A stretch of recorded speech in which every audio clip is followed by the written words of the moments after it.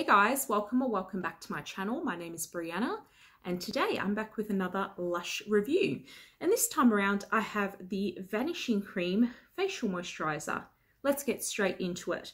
So the ingredients of this product are linseed infusion, water, rose water, lavender honey water, organic cold pressed grapeseed oil, honey, organic jojoba oil, witch hazel extract, fair trade shea butter, uh, camellia oil, uh, lavender oil, neroli oil, uh, geranium oil, glycerine, tincture of benzoin, and some other little bits and pieces.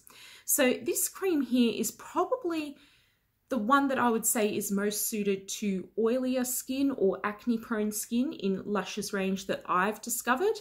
Uh, definitely with the addition of the witch hazel in there is meant to help uh, with breakouts and sort of keep those under control. I like the name of Vanishing Cream. I think it describes it perfectly. It definitely sinks into the skin really, really quickly. Doesn't leave any sort of residue on the face that I've found personally. It just sort of sinks in, leaves a very sort of um, matte finish and very soft to the touch, which it does claim to do on the label. Um, yeah, magically matte skin is what it says. Um, and let me just open it up for you. It's going to be a little hard to show it on camera because it is a little bit on the thinner side. There we go. Yeah, sorry, I can't really tip it much more than that.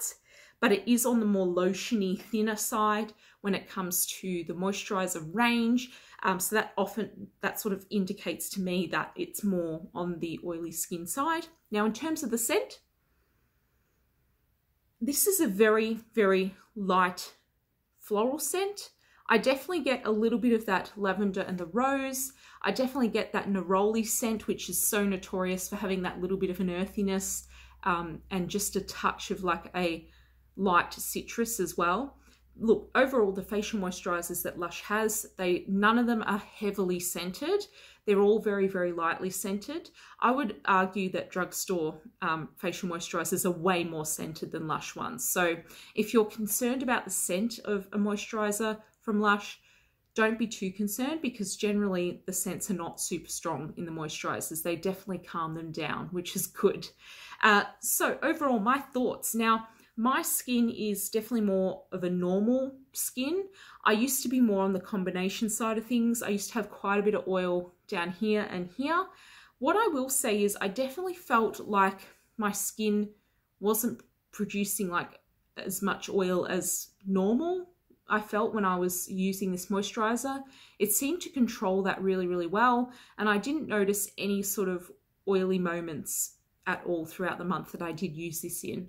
Because um, usually within the month, there is maybe a couple of days here and there where my skin just goes into full oil mode. It's usually around that time of the month, if you get what I mean. Um, so that's often a common thing with hormone changes, etc. Uh, but with this one, I didn't notice any of that happening. So very, very happy about that. I think this is a great moisturizer, especially if you wear a lot of makeup.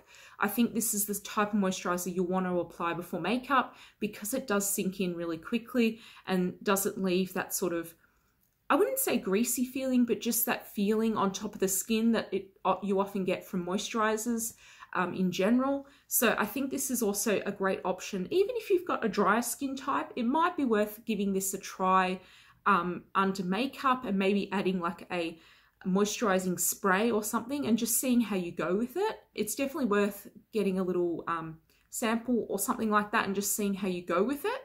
Uh, but overall, I think this is a really great product. I definitely think it's worth a 5 out of 5 rating. Even though it doesn't fit my skin type per se, I still got a really good benefit out of the product and I still think it has, yeah, a really good sort of um, effect on the skin and I just really liked that for myself. So yeah, I definitely think it's worth giving it a try and I definitely think if you can, definitely go for it. So thank you very much for watching this video. I sincerely appreciate all the support I get here on this channel. Please stay tuned for more Lush reviews like this. But until next time, take care and I hope to see you again. Bye bye.